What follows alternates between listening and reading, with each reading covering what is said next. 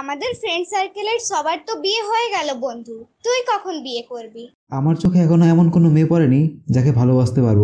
আমি যাকে ভালোবাসবো তার চোখ হতে হবে হরিণের মতো কণ্ঠ হতে হবে কোকিলের মতো সুর শুনলে যাতে একদম হৃদয় পাগল হয়ে যায়। আর চেহারা হবে পরীর মতো সুন্দর। যদি এরকম মেয়ে পাই তাহলে অবশ্যই বিয়ে করব।